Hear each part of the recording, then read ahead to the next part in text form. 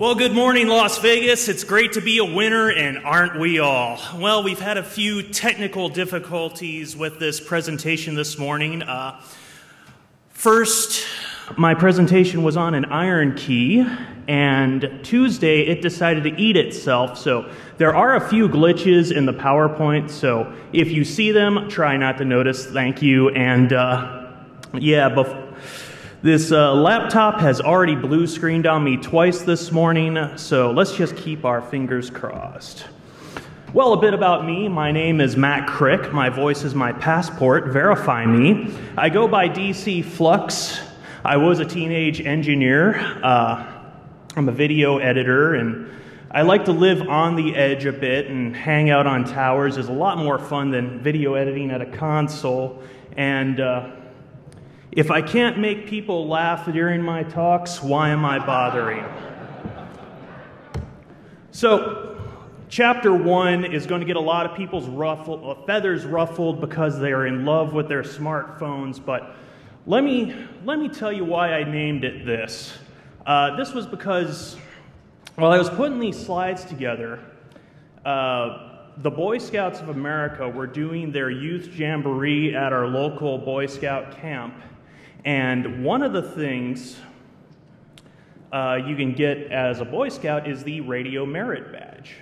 So here I am explaining, trying to explain to a kid uh, just about in junior high, you know, how cool radio is and all that, and he just sort of looks at me and yawns and pulls out one of these. Well, joke's on him because the camp is located in a cellular dead zone with spotty coverage at best.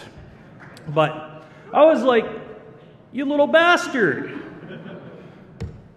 When I was your age,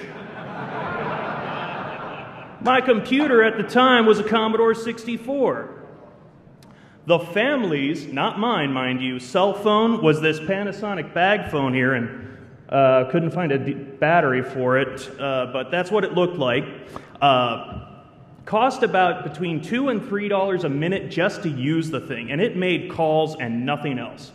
And the first, you know, if I wanted personal communications in the field, my first radio was the Yaesu FT709. But, uh, you know,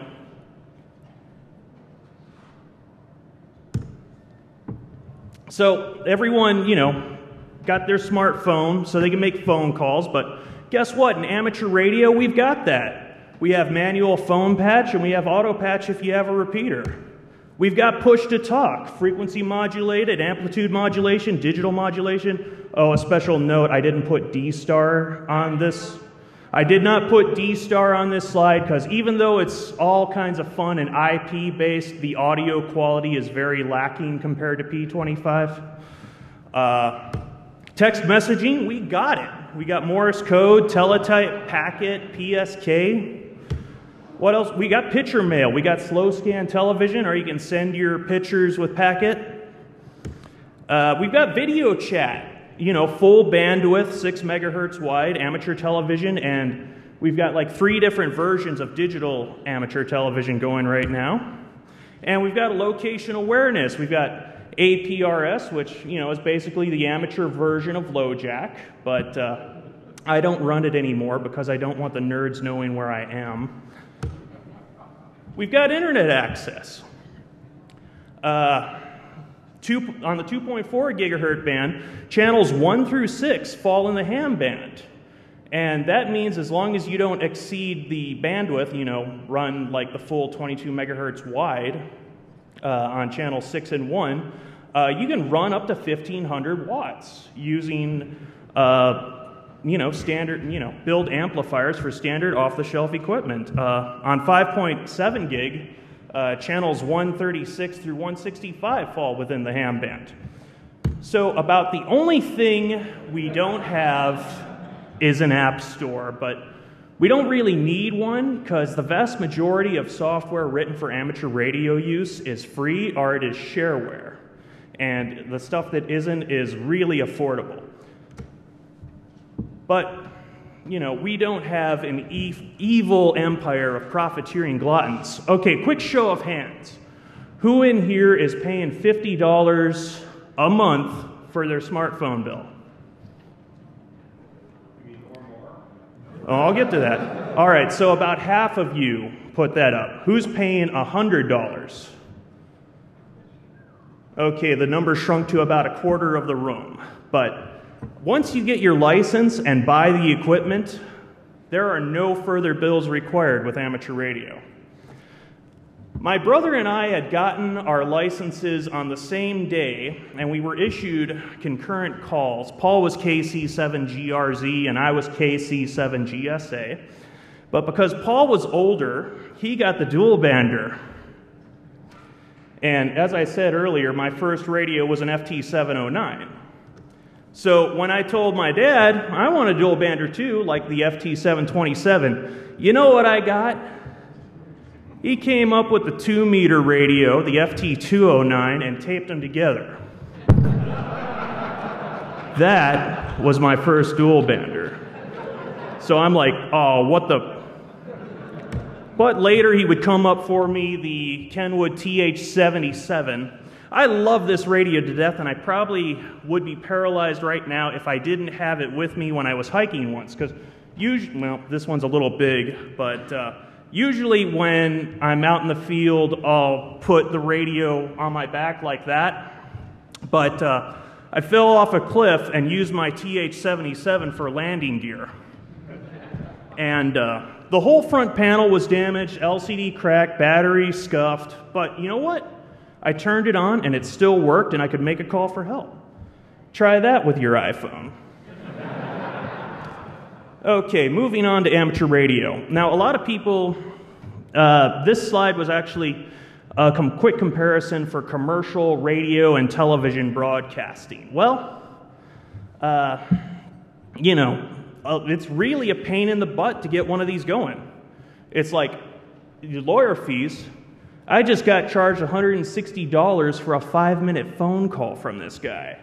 And then the bill showed up because I was changing a license to my name from another guy's name, and it was about four, four grand, maybe a little more. Uh, then you got your FCC fees, which is at least $500 per application.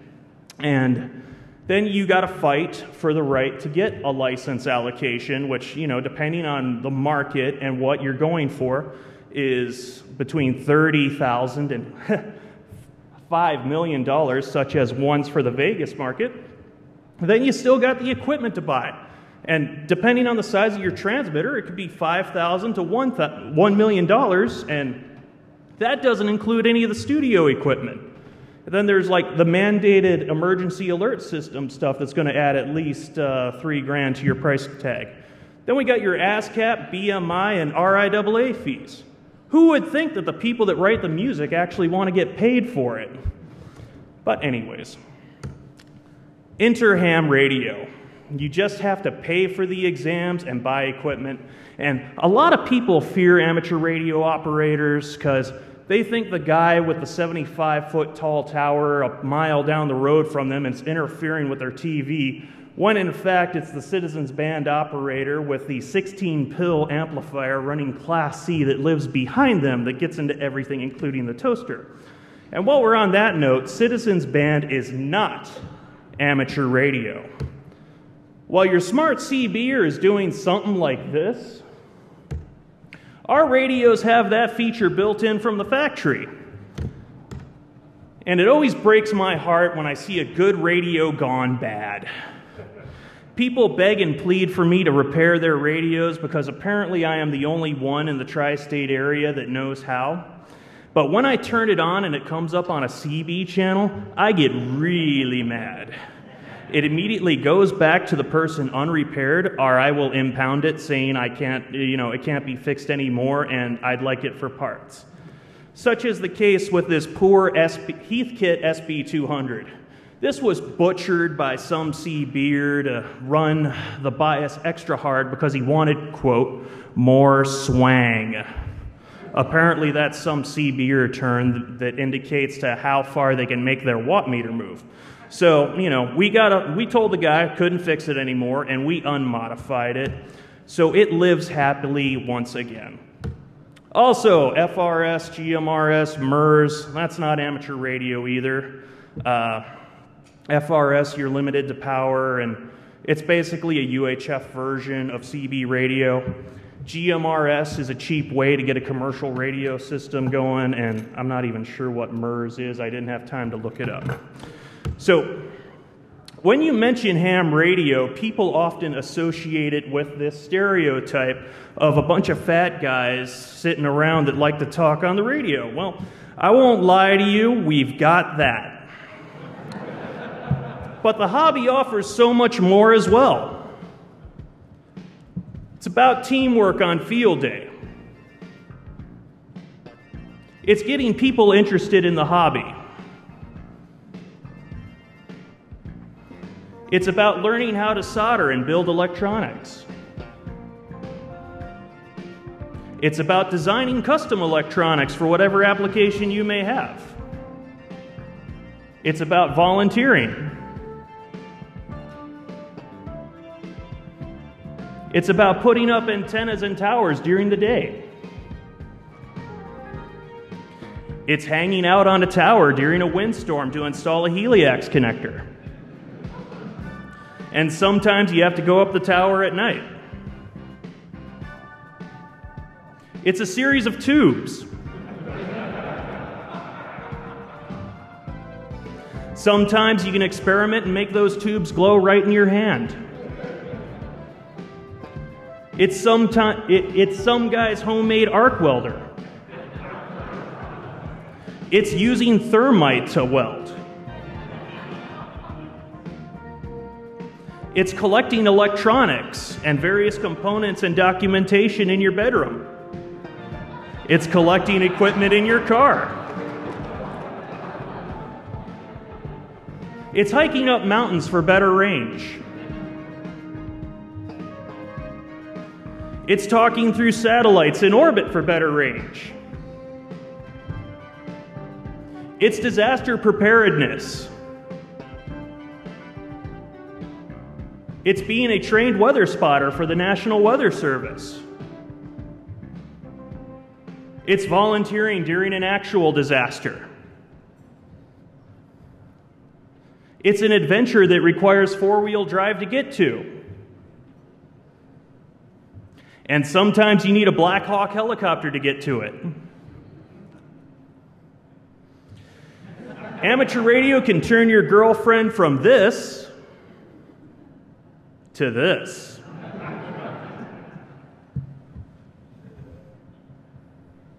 Most of all, amateur radio is about the things that I didn't have time to show you, which you will just have to find out some of these on your own if you, you know, do take an interest. But don't take my word for it. Here are some of the hams that you people may already know. This is Jay, K5Z Charlie. This is Bob, K2AMH. This is Joe, WB6ACU. This is Art, W6OBB. This is Nolan, W7DUK. This is John, K2HEP. This is Steve, WA6BND. This is Clifford, K7TA. And this is Kevin, N6NHG. Moving right along, the FCC is the man. Established by the government to be the entity that taxes people for the use of the electromagnetic spectrum something that should otherwise be free. But, anyways, these are the only people that have the authority to grant your license and to shut you down. Now, you don't know about the league? The Amateur Radio Relay League is ham radio's version of the NRA. They basically file legal petitions with the government on behalf of amateur radio operators, and being a member gets you a free subscription to a magazine. I was going to say QST is like guns and ammo for hams, but surprisingly, that magazine wasn't owned by the NRA. And we've got some bands that we're allowed to use. Uh, you know, this is the HF radio spectrum 160 meters through 10 meters. Uh, 60 meters there is one of our newest bands, and the thing there is we're not allowed to use that whole chunk there. That is actually channelized into five channels, and you're allowed uh, upper sideband voice only, with 50 watts PEP, but I'll tell you, it works excellent. Uh, the 50 watts on a 12 foot whip is enough to talk from here, to, uh, Arizona, to the surrounding states easy, both day and night. Uh, here's our higher bands, 6 meters through 13 centimeters. What can I say? We have, and we've got more. We've got places all over the place. Uh, you know, I, I didn't show you all of our microwave bands. But these are the most actively used ones because equipment's readily available and you don't have to fight with dish alignment. And while we're on that note, the narrower the bandwidth your emission is, the longer you can make the range work. So at the top of this list is SSCW, which stands for Super Slow Carrier Wave. Now the trick there is the DITs, it's Morse code, but the DITs are 10 seconds long each, and the DAHs are 30 seconds long. But because they're that slow, you know, you need special equipment to decode it. Running 5 watts looks like 50,000 on the other end. Uh, Wi-Fi data here, you know, it depends on which mode data you run. They can be 1 megahertz to 22 megahertz wide, which is why uh, you might have trouble trying to make that work through a wall without antenna gain.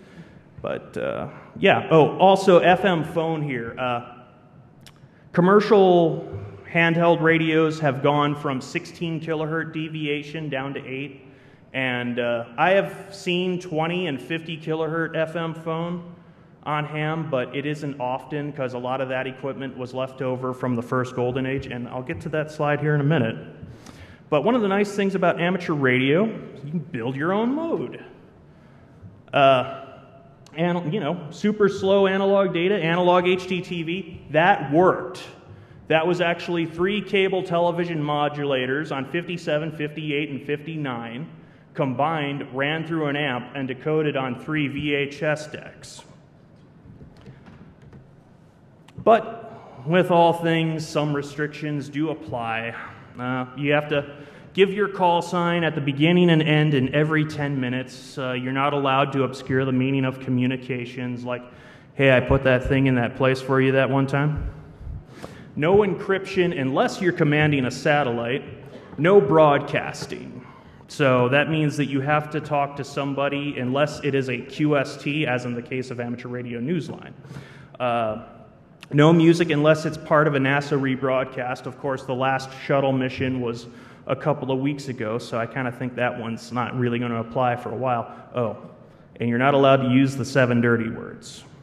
But the swearing thing is also dependent on the moral standards of the community, such as the case in the Los Angeles basin. But remember to give your call sign first if you want to test the waters and if someone will report you to the FCC.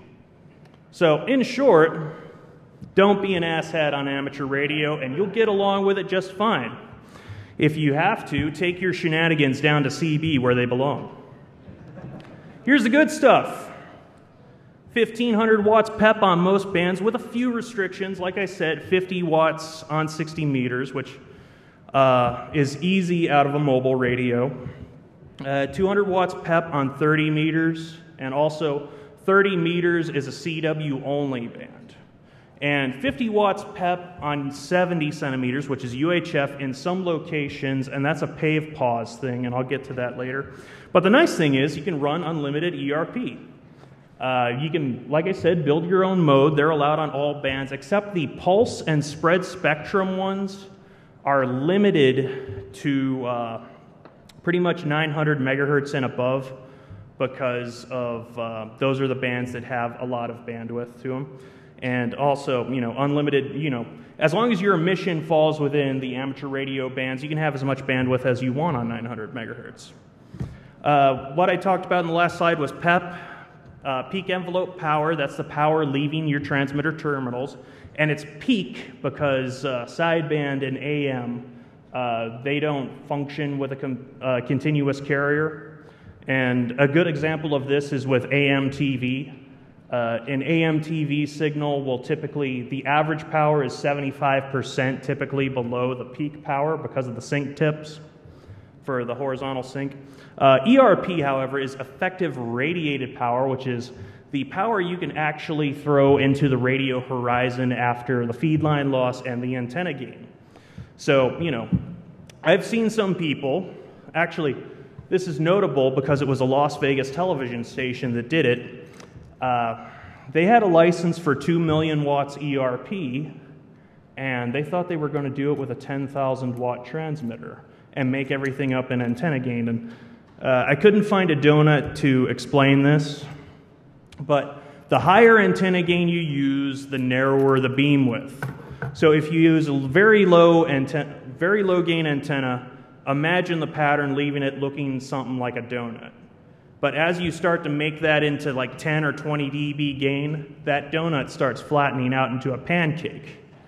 Now, if you put a pancake on top of a mountain, your power will fly over everyone down below the mountain and land someplace 120 miles away. And that's just, you know, they're probably not trying to watch you, but the poor guys that are five and 10 miles below under you are. Uh, here's that chart I was telling you about the UHF power restrictions per 47 CFR 2.106, footnote US 7. Uh, pretty much you'll see all of Arizona's covered, most of Southern California, actually, most of California too, and uh, the Southern Nevada portion that Las Vegas resides in. But basically, these are outlines around U.S. government Air Force installations. Uh, and pretty much, we share the UHF spectrum with, uh, you know, the 70 centimeter spectrum with the government, and they use it for radar to look for space junk. So they don't like when a, one of our repeaters starts getting to them and they get all excited thinking that, you know, this guy's repeater in his backyard is some space junk over by Mars. Uh, estimated ranges. Okay. Uh, everyone, uh, whenever I tell someone about how great amateur radio is, they always like, well, what kind of range can I get? Well, it, a lot of it depends on the band and conditions, but here's kind of a chart I put together. And Generally, the lower the frequency, uh, the better range you can get because of path loss. The higher the frequencies, the more your radio waves actually get absorbed by buildings, foliage. Uh, some frequencies even get absorbed by the moisture in the air. But uh, 160 meters is uh, the 1.8 to 2 megahertz portion. And a lot of the people that are on this will run retired broadcast transmit, AM broadcast transmitters. But uh, the reason I put bad range on that is because you're combating with a lot of noise on 160 meters. Uh, everything that has a switch mode power supply will make garbage, twisty lights, boat chargers. Uh, yeah, it can get intense.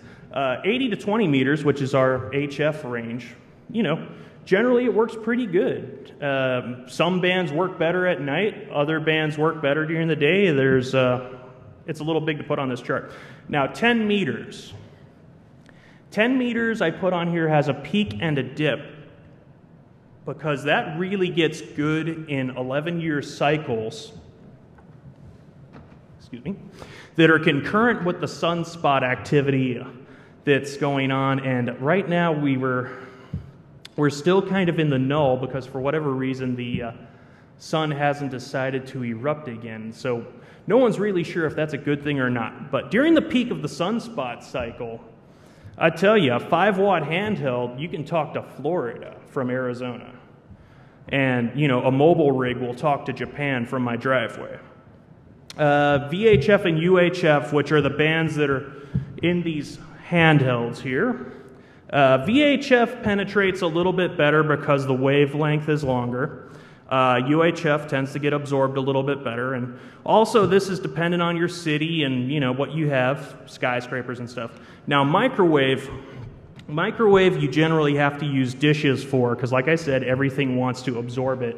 So generally we use that for point-to-point operations, like linking between mountaintops and. Uh, yeah, if you have the right size dish, you can make a microwave signal go 150 miles uh, if you have the right two mountaintops, and that is because of the curvature of the Earth. Uh, we call that K factor. But at 150 miles, the dishes will actually be pointing into the horizon, or you know, about five degrees below the horizon to get at the other dish, because you know, they're curved kind of like that. Okay, moving right along. So, at one point in time, we did have five classes of operator.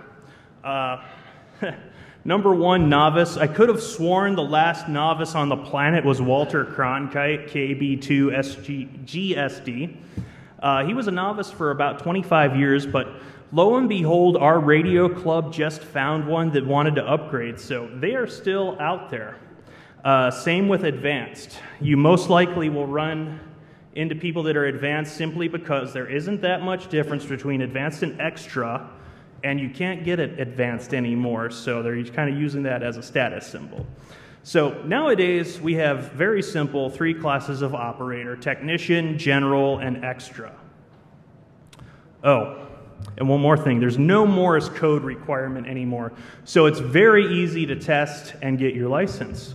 Uh, the requirement was dropped in 2007. The day after that, was, that happened uh, was when I took, went down, studied for three hours the night before, and took my general. Uh, there were 34 people at that session, and we were at a paint store, and I actually had to stand at a shelf in the back of the paint store to take it. And uh, no one told me this, but I had used blue pen and I circled the letters on the answer sheet. This is one of our grading templates. It was an, almost an instant fail until the guy moved it and was like, "Oh, you kind of did this wrong." I'm like, "Well, you didn't you didn't tell me and you didn't give me a pencil, but anyways." So let's take a look at what's in the technician package. Well, you get all the privileges on 6 meters and up, and you get some HF privileges. Uh, they're very limited, but hey, we'll take what we can get. Uh, you're limited to 200 watts PEP power, but you know the typical mobile radio does 100 watts, so you're fine there. Uh, CW only on 80, 40, and 15. CW Ridian data on 10 meters, and you do get SSB voice, uh, upper sideband voice on 28.3 to 28.5.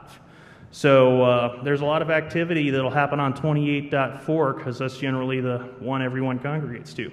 So if you take general, well, you get all the technician privileges plus most of the HF privileges, except for a couple of small slivers that are reserved specifically for advanced and extra. And if you become a volunteer, volunteer examiner, you get the ability to give technician tests. And I was kind of scratching my head about that too. Uh, you know, you'd think you'd be allowed to give the general ones, but for some reason they only give you uh, technician. And if you get your extra, well, you get all that plus all the other frequency privileges, the ability to administer all VE tests, and you're entitled to a Class A or Class B call sign. This is a Class A call sign. Also, most states offer special ham plates. Check your local listings for this. Some states they're free, some states they're discounted. Arizona kind of sucks. So you actually have to pay uh, the same rate as a personal plate in Arizona. But, you know, it, you get the little tower on the side and it looks so much cooler. And another thing, I always get asked this a lot. Uh, People come up and they're like, What part of Pennsylvania you from? Well, the number that's in a call sign represents what geographic location it was issued in. And the reason why I have a three in my call sign is because it is almost impossible to find a one by two or a two by one in seven land because a large number of them were reserved for Hawaii and Alaska. And people, when the vanity program came out, started getting them because they thought they were lucky. But, anyways, also, American call signs only have one number in them. So, right away, if you know someone, you can tell someone's not legitimate, such as the case of W6JJ4, uh, just right away, because they'll have, an, when you ask them their call sign, they'll have an improperly formatted one. Okay, so who here recognizes these basic electronic symbols? Okay, but who of you know which one doesn't belong? Oh, I passed my novice without studying when I was bored at a hamfest one time and I was 12, and I knew what, you know, a switch looked like on a schematic, a resistor, a capacitor. So if you know anything about how to read a schematic for electronics, you get along just fine. Uh, but, you know, if you're really interested on studying, go to this store. Uh, we are less than a mile from it. Uh, it's south. You can walk there if you can bear the Las Vegas summer heat are uh, if you can find a taxi driver that'll you know only take you there for a mile, go for it. But uh, go in there, talk to a guy named Luke. He's the store manager, very cool guy, and uh, he'll show you these books. Okay, so they are a little pricey, but they are extremely well written and do a really good job going into theory. Plus, when you have your license, you can hand them down. Uh, AES typically has 25 of each type in, st- in stock at any given time. Uh, if you don't see a copy on the shelf, just ask and they'll find it. They also have the Gordon West study guides available there as well. And, you know, I know what you're saying. Well, Mr. Flux, I don't want to spend too much money on this. Well, if you're willing to use DEF CON's network, we have free online resources. Oh, I will point out, though, that when taking the QRZ practice, eh, practice exams, please remember to advance the test numbers because uh, it'll put you on test number one by default. And if you don't advance it, such as a case of Kimberly, KE7PYL, uh, she was like, Oh, look, I'm getting 100%. I'm like, Really?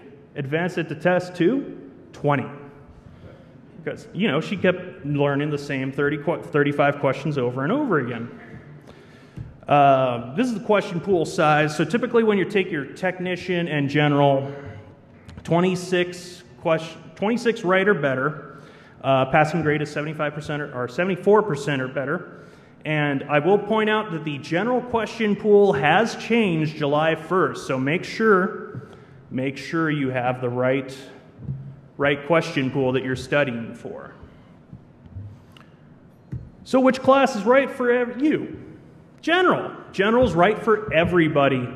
I recommend everyone become at least a general because you get privileges on all of the HF bands minus that those small segments, but that's fine. You just can't talk to Art Bell and pals on 3840. Uh, and uh, the segments reserved for advanced and extra, which you know, it's 400 kilohertz spaced over, what was it, 12 bands, so it's not that much. And it's real cheap to take the test by us. Uh, you know, save a little coin on, for the exam. Uh, this, this was the first year we actually started testing here at DEF CON, and there were actually a few more of us, but they had to go before this picture got taken. Uh, let's see. Okay, so things to bring. Obviously, $15. We'd like a photocopy of your driver's license, uh, a photocopy of your existing FCC license, or you can print out the reference copy if you're going to upgrade to something like General or Extra. Uh, we'd also like to have your FRN, which I believe is Federal Registration Number, but I'm not sure on my alphabet soup today. If you don't have an FRN and you trust us, we can use your SSN. Uh, and calculator's optional, but it has to be an old school one that you can prove to us that it doesn't have the test memorized in it. So, you know, a TI 36 would be just fine, but don't show up with a TI 84 unless you can prove to me that the memory is 100% clear on it, okay? So, can you do it? Well, you can. Ass kicked by a blind man. This is my club's president, Bill KD7MIA. He is legally blind from when uh, an accident happened aboard the USS Enterprise. Uh, the engine on an F 14 Tomcat exploded in his face.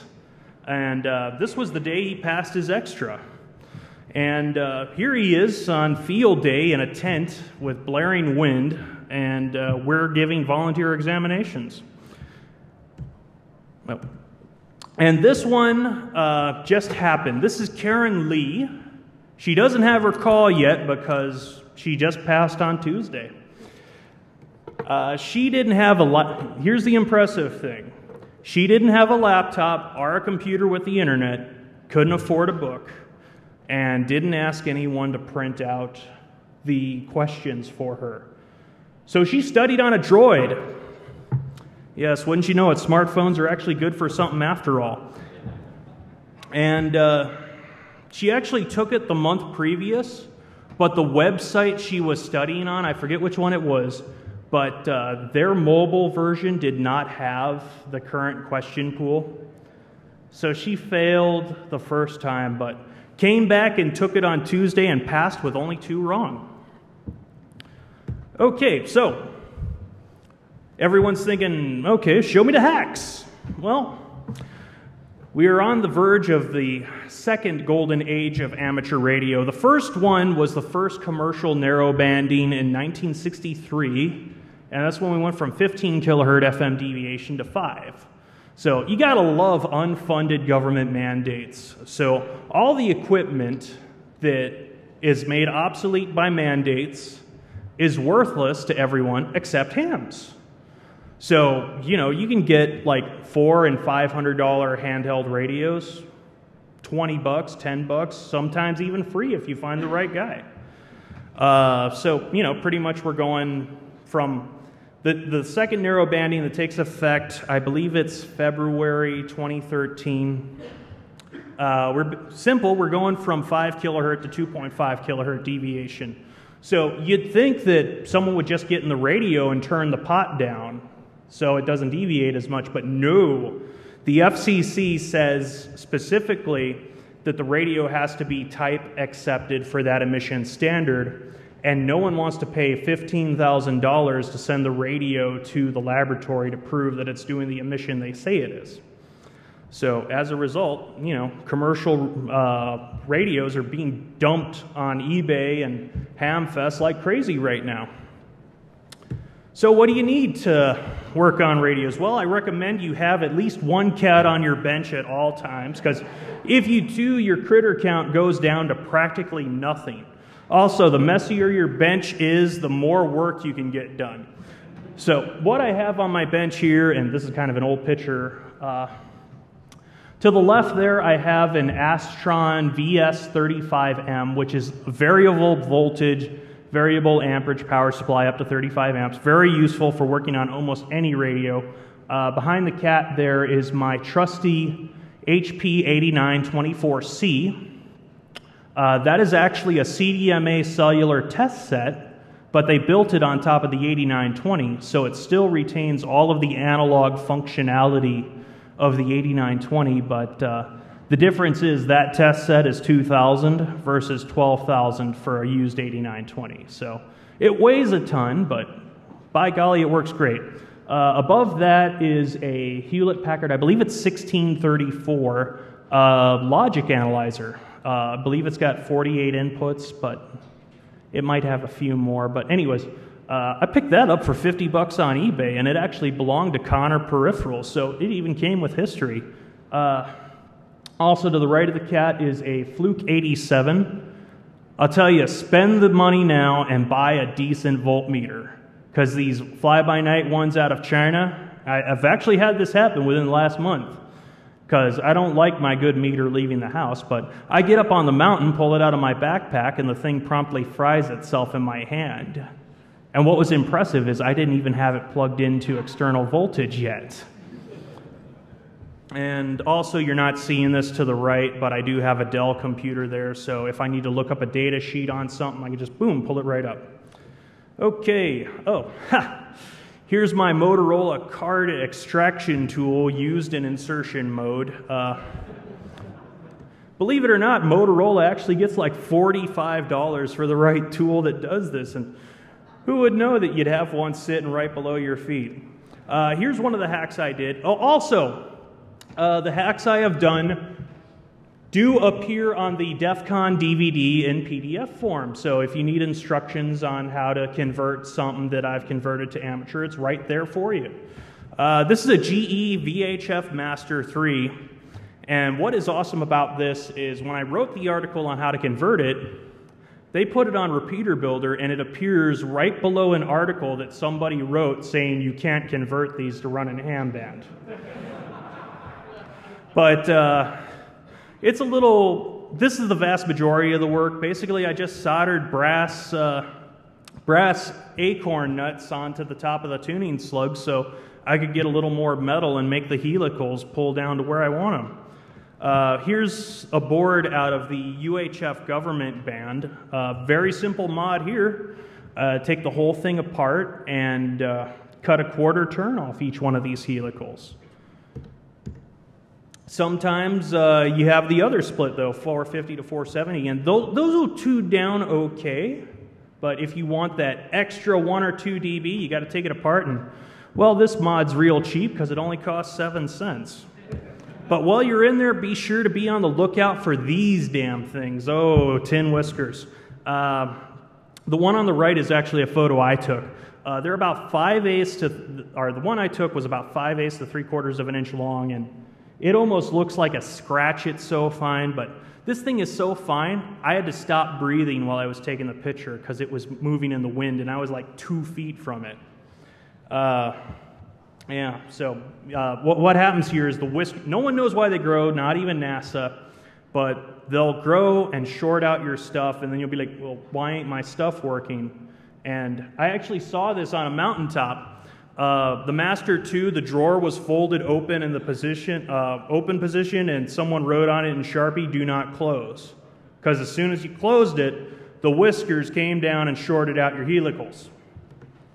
Uh, the one of the most underutilized band in amateur radio right now is the 221, simply because there's only like one commercial manufacturer, or you know, am radio manufacturer that makes radios that run on it. Because uh, apparently America is the only country that has a 220 amateur band, so everyone avoids it like the plague. Uh, like you know you'll find radios that have the functionality in them like the quad and the triple bander like the TH-F6A does 220 but so lately i've been uh, a fire department graciously donated to our club about 50 of these things and we're like well great they're on vhf what are we going to do with them so i did some research and uh, found out it was possible to make the thing run on 220. You know, took, a, took me about three or four weeks worth of effort to do, but because it's a 45 megahertz IF radio, very simple, I just convinced the voltage control oscillator to run backwards, and I hacked the software to where it would program that far out of range. So the uh, transmit frequency you program true, and the receive frequency, you program 90 megahertz minus where you actually want it. Uh, well, if you don't like GE, here's kind of the same thing I did in a uh, Motorola Maxtrac. Uh, this one's a little more involved because I had to take apart uh, a bunch of the coils, and I got tired of fighting with the PAs, so I just took the Dremel and cut a slot out and shoved a, uh, that's actually a linear power brick in the center there that I stole out of a amplitude compandored single sideband 220 rig. And I knew it was wrong, but I did it anyways. And wouldn't you know it, the battery for this one ran dead sometime between uh, Wednesday and Thursday. But, anyways, I, I, swear it works on 220, but this is the GE PCS handheld. So, uh, if you see in the photo here, I actually put brass screws and the receive tuning coils, and uh, I did a little work changing coils on the power brick simply because the one that might work on 220 is almost impossible to find anywhere. Uh, here's some uh, yeah, I always ask people this got any six meter duplexers? I do. Uh, I uh, had to pick them up and have a friend drive up and get them, and they made a 800 mile trip and uh, came down to me. And, uh, you know, they're, they wouldn't really tune where I wanted them until I pulled the thing apart. And very simple cut one turn off that coil and solder it back together and stretch it out. And there's been a fierce debate over crystal, old can crystal controlled rigs. You know, which one's better, the Micor or the Master 2? Well, I like the Micor because the receiver is hot, but the Master 2 transmitter is just so good. Ooh, ooh it's tough. Uh, anyways, the surplus market has a ton of these for hams that are, you know, just they're they they were practically already worthless to commercial users, but now they're really worthless. But they are crystal controlled, and no one likes to spend fifty dollars and wait two months for a set to grind. If, if only there was a solution.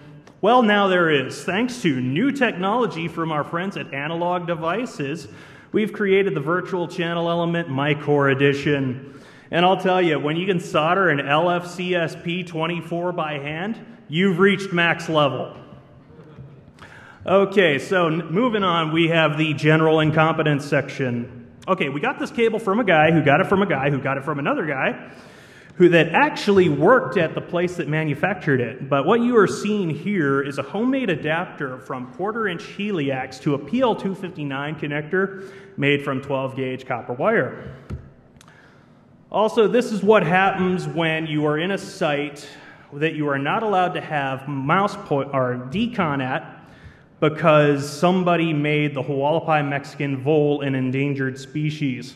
So the thing gets in your building and it likes to hang out on hot spots and crap all over your board. And the problem is that stuff will eat right through the solder mask and start dissolving the copper. So, you know, uh, such is the case of this radio.